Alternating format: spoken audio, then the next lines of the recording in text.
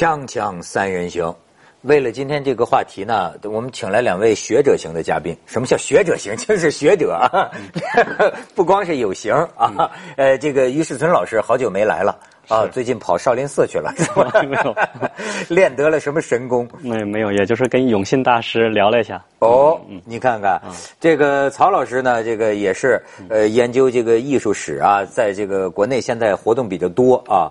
但是他是因为今天本来有事儿，嗯，但是因为对我们这个话题啊格外有一个情怀，所以呢才推掉了自己的事。哎，非常感谢曹老师。但是这个事儿呢，确实是这个国之大事。为什么说国之大事啊？这个文化部牵头啊，七月二十四号啊，组织了反正几个机构，说是。二十二国的学者举行一个座谈会，叫做《汉学与当代中国》。你知道，在这个话题上呢，提出了最近的一个热门话题，就是关于宋朝。其实宋朝呢，这两年呢，一直就有人在提啊，听到过很多说法。这次呢，呃，提出来这个传闻比较广的一个说法是什么呢？宋朝掀起过人类历史上更早的。文艺复兴，啊，他打了一个问号，这是这次会上的一个提法啊。然后呢，比如说有一个来自美国的学者马林认为呢，宋朝在文化上的发展甚至是不亚于欧洲的。以绘画领域为例，中国的这个画家呀，已经学会了用画来展现远处的风景，展现重叠式的远处的风景。这是他的这个。观点啊，我不知道这个曹老师好像哎，当然咱们先要说啊，咱们这是个言论自由的平台，也不谁说的都不等于是个结论啊，大家都是在这个参与这个意见，起码不代表凤凰卫视的立场。哎，呃，我我我我想听听您的意见。我只代表我自己的立场。对对对，这位马林先生的名字叫马林，他是南宋画家的名字，所以就很有趣。但是他说宋朝的。呃，宋朝这个时期不亚于欧洲，我觉得是有点侮辱我们大宋了。法国学者、汉学家很有名的日内，在很多年以前就出版了书，叫叫《蒙古王朝的前夜》，就是说南宋，甚至南宋、北宋。他认为，如果说宋朝是第一，全世界第一，没有全世界没有任何一个国家、民族、文化敢发言，这是日内说的。攻其事定，我更同意说，北宋是现代社会，不是文艺复兴，是现代社会。比如咱们这个得先看现代社会的标准。太对了，公务员制，公务员咱不是接轨西方的公务员考试制度吗？公务员考试是在宋代完善的。嗯，北宋的科举制度的完善就是公务员制。这个公务员制的完善很简单，就是要政军脱轨。政军分家，管理国家的人就是文官。宋太祖很明确，我不能现在说的政务官和事务官对分开开了啊。宋代是领人类最先一步走出这个的，这不是文艺复兴了，它就是一步就到了现代社会了。教育普及，咱们的是是无论是仿本还是监本，国家监就是国家出版社还是民间出版社出的书，那的量加起来是全世界。总和也没有宋代出的多，咱们福建、四川、江西等等都是出书的大户，而且还有人出生叫翻印有功，啊版大概是这个意思，就是版权所有，翻印有功，就没有版权你翻吧，大家都考试，所以宋代而且妇女相对自由解放。说到医学。宋代的医学了得，宋代的这个《洗冤录》，直到今天，李昌钰先生认为来过你这儿吧？嗯嗯。李昌钰先生说。宋代的《洗冤录》对今天的刑侦学还有指导意义。是是是，呃，我也买了一本啊。你都看过 这个《洗冤录》？哎，这个于老师你怎么看？我觉得那个曹老师刚才说那个是对的，就是呃，刚才这位马马马先生他把那个宋代跟西方人做对比，我觉得是确实是把中国。把我们的大宋看得太低了哈，嗯，大宋它它的那种那种辉煌的成就，现在看来确实是是一个传统文化的一个巅峰时代。它不是一个，但我觉得它不是一个说，好像说我们的艺术家还在学习某种东西，不是说宋宋代人学习到了某种东西。啊，而且宋代我们大家也都知道，它它应该来讲就是说，呃，是一个知识分子，可能是有点扬眉吐气的一个一个一个是一个朝代，是吧？因为宋代人不杀士，是吧？他是这是他的家法，他的一个政权，就是赵匡胤当年是有这个规定，嗯，所以在宋代人做一个文化人，他是应该是很很很应该来讲还是比较舒展的。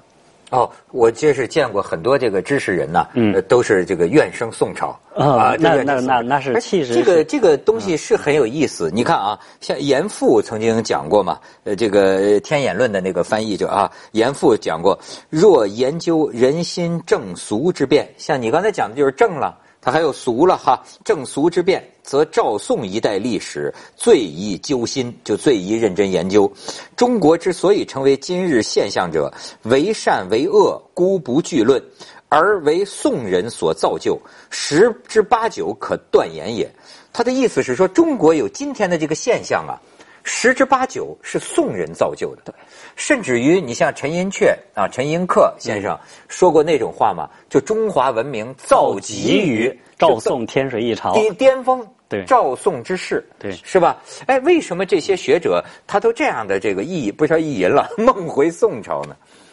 第一，就像于老师说，对知识分子的一个尊重；第二，就是咱们也谈过寒门出贵子，宋朝的这个社会上下流动，它的可能流通可能性非常通畅。嗯嗯，按照今天苏东坡或者比苏东坡更低的人进做京官做到这么高，几乎是不可能，而宋代是完全有可能。所以，对于文人来说，对于文人来说，书中之自有颜如玉，指的就是这种寒门可以通过自身的努力做到贵子。嗯这个宋代给奠给后人给所有整个文化的规范做了一个做了这么一那个。他的文明这么伟大，为什么到最后不堪一击呢？这个不北宋是吧？被金所灭。南宋最后就说，而且甚至还还有人有一种这个互联网上有一种这这流传已久的想法，叫做这个崖山之后无中国。无中国就是因为南宋的结局嘛，就是陆秀夫背着小皇帝在广东那个投海海面上，最后被蒙古大军追到，那是山穷水尽了，投海自尽。就是说，那么人们有这种说法，认为啊，这个崖山嘛，就是崖山之后呢，为什么叫无中国呢？因为接的就元人啊是和这个满人。中国就是两代的这个呃这个皇朝啊，是异族政权，所以呢，呃，好像这种观点认为啊，在南宋之后啊，中国的很多这个这个气啊，属于中国人的气脉，甚至于文脉断，了实际上是断损太半。这个得从几个角度来说。嗯第一个角度，蒙古人刻意削弱宋的形象，整个蒙古一朝，咱们能看到的，包括赵孟俯、忽必烈请他进京，赵孟俯。忽必烈让他谈一下你出身赵宋家庭，你谈一下家族的这种辉煌啊，他就不愿意谈。因为在那个时候，整个蒙古这一朝对宋代的一种一种指责，或者是贬低，或者这是很明确，在原始上都能看到。还有一个，南方的人、北方的人都一起怪南宋朝廷作为失去了大好河山的罪人。嗯，所以到了明之后，对宋代的看法基本上是沿用元人的看法。这个宋代是不真实的一个宋代，就像福柯说的，我们看到的不是真正的历史，而是历史上写作通过历史上的一层一层的写作看到的历史。宋代北宋一点都不弱，很多人说北宋是弱宋，一点都不弱。就举几个例子，刚刚我跟在跟于老师聊天，就说到，咱们就说宋代的船吧，哥伦布航海到到发现新大陆的船有多长？二十一点二十一点五米。咱们宋代去高丽的船有多少？它能装一千一百吨，十吨一个大卡车就是一百一十个大卡车的货，它能装。你说它的工业发展得多大？你说它的算术？数学各方面的计算，它的能力，它的它的整个工业生产能力得有多强？它怎么能叫弱宋？确实不要否认这个宋代在这方面的非常辉煌的成就。我觉得那个呃，你刚才说的那个七月二十四号的那个会啊，他说中国宋代是一个文艺复兴哈，第一次掀起文艺复兴，这个话好像也能成立，因为它有点跟文艺复兴的那个劲儿有点像。同样，比如说文艺复兴是发现了希腊罗马的那些文献、那些思想，重新发现。那宋代其实也有一个重新发现的东西。啊，但还有人说这个晚明是类似于文艺复兴的一个机会。是。更早的说是汉武帝是文艺复兴，他 独尊儒术也是一种重新发现。呃，对，这个也可以讲。但是我我觉得从中国文化的理解来讲，我我能接受宋代它是一个大的文艺复兴的东西。比如说，他呃呃，从我对《易经》的研究来来看的话，宋代人发现了先天易。啊，比如说陈抟传给了后来他们邵雍这些人传给了那个二陈，传给朱熹，所以他出现了在在说的是易易经啊易经的这些这这这个东西，包括朱熹后来在一直在研究这个易经嘛。河河图洛书对河图洛书对这个先天易跟后天易差别是很大的，就是发现先天易它是带来一个自然哲学、自然科学的一个大的一个推动。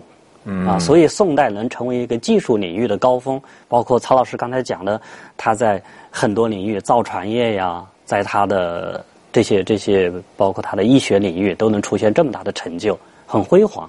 辉啊！还有一个就是说，我我我觉得宋代他他之所以能有这么大的一个一个气象，是因为他的儒释道，他在他在从那个比如说佛法传到中国上千年间，经过一个互动。他已经中国完成了中国化，然后我觉得这么一个，这也是一个很了不起的。它不像我们现在，比如说我们从马戛尔尼访华以来，我们对西学，是吧？对外来的东西，我们还是一个排斥的，我们不认为那是我们自身的一部分，啊。然后包括最近还说哦，那个外语教材它要占的比例要有多少？这种我们在大宋朝代不可能想象还有这种事儿发生。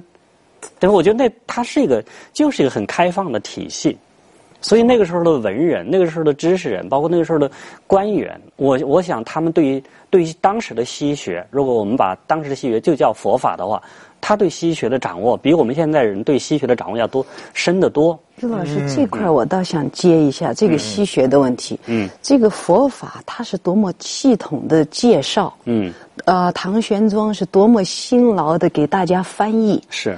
不光是翻译，他还解说，他还给开课解说。那么咱们这三十年回头看这三十年的西学，就是有一点一鳞半爪，东一榔头西一棒子，支离破碎，碰到什么就是什么，都已经在西方受到了排斥的书，碰到哪个翻译家手里，他翻译了之后，然后在全国热卖，奉为经典。这个事情就是非常不系统。你要是真的想研究西学，给他系统的理一下，翻译的人介绍这个书为什么重要，这一点我觉得三十年还不够。你像这个呃马林这位学者啊，还讲到这个中国的宋朝画家的这个发现呢，呃，我就更觉得，其实这个吧，中西啊，还真的是两回事儿。嗯，它根本是两种哲学。咱们先去下广告，锵锵三人行广告之后见。呃，曹老师，我班门弄斧两句啊，因为这个恰好是我的这个，我有对这个有兴趣。我最近呢也正在这个学习那个方文教授，您您知道方文教授吗？比较熟悉。呃呃，他是这个普林斯顿，我们比较熟悉。呃，比较熟悉吧？对。方文教授就是研研研究这个大，他是跟大都会，他是大都会的东方部主任，大都会的很多中国作品的收藏与他息息相关，没有他就没有那一块。对了，我为什么就找上他了呢？嗯，因为呢。我看中国画呀，我有一个问题，我恰后来我恰恰发现呢，他就是从这个问题啊，做出了一个他的论文，呃，给西方人去解释中国画，哎，无形中也就为我提供了一个解释。我的问题是什么呢？这个中国画呀，最神奇的就是我们看不懂的这些人啊，我可以跟人讲非常有意思，就是中国画啊，是你去看啊，你去你去猛一看，你觉得。很很真呐，很像啊，没有什么问题啊。可是呢，反倒我要日仔细的指点你看一看。我说，你有没有发现，比如说一个像南宋的那个画，它一个松树啊，这个松树的松针，擦擦擦擦擦，这个松针在画面上的这个大小啊，可能比树干还大。实际上是非常不合比例的。呃，或者呃，再者说，按照西方人所说的叫做焦点透视哈，我说你比如说范宽的《西山行旅图》，我说你有没有觉得他这个山，你猛一看你觉得很对啊，但是你仔细一看呢，他在后面的山，他怎么形体上比前面的山要大得多，要明显的多呢？就是你明白出现了一种幻觉或者一种就是说，但是呢，他又不像毕加索。毕加索这种像西方的这个艺术，是你看了它就是怪怪的，对吧？它它它它就是不太像是那个写写实的啊。中国画是什么啊？我要不跟你说呀，你猛一看你觉得很写实，太是那么回事了。需要我细细的跟你说，你才发现，哎，这是怎么回事？不，确实是不对啊。它比例上是不对的。可是比例上这么不对的东西，为什么你看上去，哪怕是外行，完全看不出不自然？哎。我就有这个问题啊，我就学习这个方文教授，他给了一种西方人能接受的解释，其实就是说啊，就是包括马林这位学者所说的，他说啊，这个中国画你仔细看呢，是层叠式的。你你假如说你用玻璃片儿，你看这一片山，前景的一片山，后景的一片山，还有一个树，还有这个。哎，这些玻璃片呢，要是按照物理的那个透视的距离啊，它是应该有一个相应的缩小的。但是中国画呢，也许是同样大，也许是甚至后边的还大。但是你就假想，它这些玻璃片压在了一起，实际上你把它分离开，它是一片一片的，它又能够，哎呦，这一下让我想到平行宇宙，就是所谓中国画的这种啊游游离的视点，它是散，为什么说是散点透视？哎。但是为什么这又解答我刚才说的问题？为什么我们这些外行一看又完全像真的，不觉得有什么问题呢？因为这是那天我跟我一个画家朋友聊，我们发现啊，中国人也了不起，就是什么呢？西方的那个透视啊，是物理学、是光学得出的结论。可是呢，人呐，嗯，人看东西，你注意到我们眼睛的视点看东西吗？我们的东西就是散点透视的。我我现在到曹老师脸上，曹老师脸就最大。我现在到这个镜镜头，这镜头就最大、最清晰。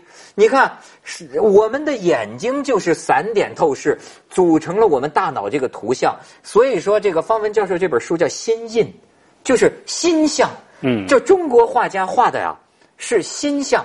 所以说，我说我找出三幅啊，这堂堂大山就代表宋代的精神，北宋的精神。你可以看，这在北京，呃，这在台北故宫啊，太著名了。这是三座高峰嘛。呃，范宽的《西山行旅图》，你注意到没有？我刚才说的，它山在后头，可是你觉不觉得它泰山压顶一样？它比前景还要大，可是你并不觉得有什么问题。你再看下边，你看这是郭熙的《早春图》，就当时的国家画院里的。哎，你看，你你注意下，他在这个他用这个云呐，他分开一片一片的，实际他是这么，其实他也分前后，但是你不能那么理解啊。你往下看。呃，这是李唐的，这是入了南宋了，叫《万壑松风图》。这个曹老师是专家啊。你刚刚说的《心印》，它的题目来自宋代，米芾说“化为心印”。哦，那就是翻译成英文，对，翻译成英文叫 “mind image”。这个形象啊，是脑子里的，不是眼睛里的。这一块就不多说。方文自称是潘诺夫斯基的学生，我都不知道潘诺夫斯基。潘诺夫斯基是图是那个图像学研究，他他就是以图像啊什么，他这个从这是方文早期的研究方式，后来他就不太做了，发现有一点说不通。你这个我觉得他是帮着用西方人的那种空间概念非常有来让他解释。你说的非常对，但是你那个一个视觉思维，是它是一个视觉思维，但是中国人不是视觉思维，他想用。他想用他想用西方的习惯的语言来解释给西方人听，对。但是后来他发现离中国太远了，后来他又改了他的晚期的学术和这儿又不一样。你刚刚说的这眼珠子动，我觉得非常好。为什么呢？当年那个叫大卫霍克尼被请到大都会博物馆去看这个乾隆南巡图，大卫霍克尼看了那张图，又看了一张西方的风景画。他说西方的风景画是凝视，眼珠子不带转的，转了就透视都不对了。对。然后中国这个南巡图呢，你看这房子看起来像是歪的，其实不是，就像是你拿着录像机。这从哪个角度都录下来。你看的时候是这样，从这儿过来的时候这样看房子，等你转过来，那房子转成那样了。对，你这么卷的时候，你不觉得它怪？它是动态的把握图。像。但是呢，它组合在一起的时候啊，又不像西方那些现代派，就弄得干脆跟这真实啊，这相距很远了，就拼贴哈对，他们是拼贴式。他这个看着，你看任何一个老百姓看中国的《西山行旅图》，好啊，这画那没什么不对劲的啊。《西山行旅图》呢，它用的是一种风景画、山水画里的一种透视方式，所谓的散点透视，叫步步紧。不移紧移，它能够用不同的表现手法把这个动感画出来，就像我从山下拍到山上一大堆照片，然后像像拼贴一样把它拼起来。但是呢，又通过那个 PS 叫什么作图软件给它做成一个整的，就特别了不起。所以就说这种试点，你不能说是比西方落后，是吧？他甚至他在宋代的时候已经高度成熟了，他还比你早几百年。这个汉学家研究的中国的美术史，经常会说啊，中国开始进入了西方的文艺复兴这个概念了。他就拿西方的这个尺度来尺度作为是万事皆准的标尺。嗯，你在我之前，你在我之后。所以曾经有一位美术史学家就说，如果要用。沃尔夫林的风格学研究，中国的绘画永远都在古代不开化愚昧，因为它永远没有脱离线性。沃沃尔夫林就从线性，就是用线条勾勒，到渲染，是一个古代和现代的一个飞跃。那中国今天还勾勒呢？对，但是曹老师，我也有个问题，就是说很多人对中国画，呃，不说山水画，山水画确实很了不起，人物画。嗯，画人画不画的画的太难看了。徐悲鸿说了一笑变老，一画笑容，人马上就变老了。对，就是说，是不是因为中国人没有个体精神，才把？你看那个中国古代的那个画。画那个男人、女人都是基基本上大同小异。中国人古代画人，他不看人的，不写生，他有个摹本，有一个本子，嗯，就像写样子一样，嗯嗯，看你是国字脸，是蛇精脸，然后去找跟你差不多，然后修改。他过去讲，他咱们是个城市化，就是丈山尺树寸马分人，嗯，就是一丈的山，这一寸的马，一分的人，他是他其实他他是一种宇宙观。就说人在天地之间渺小，是很渺小的啊。但是你到宫廷看看宫廷的肖像，那他先从对对对着人写生。然后最后画成这种模式的城市化的肖像，他还是有这种功底的。其实就是中国的人物画也不得了。你比如说大英博物馆现在这个女史箴图啊啊，那种那个那个那个人就像腾云驾雾一样。就是中国，他他有些有个画家朋友跟我讲啊，他说啊，这个西方人是他画人画的很像，中国人画的有仙气儿。你看中国人其实跟他那个线条的那个飘逸是，中国人画的人都有仙气儿。你看佛教造像。就是犍陀罗那种哈，从西或者从从从从从中亚那边到了中国这边啊，你就觉得他有好像有那么一种仙气儿，这是一个一个一个东西啊。马林说到这个透视，他指的是这种有深度感，就中国叫深远。他说宋代开始形成高远、平远、深远这三个三个透视概念了。其实呢，理论上可能是宋代，但是在实践上应该早到汉代，比如洛阳汉墓。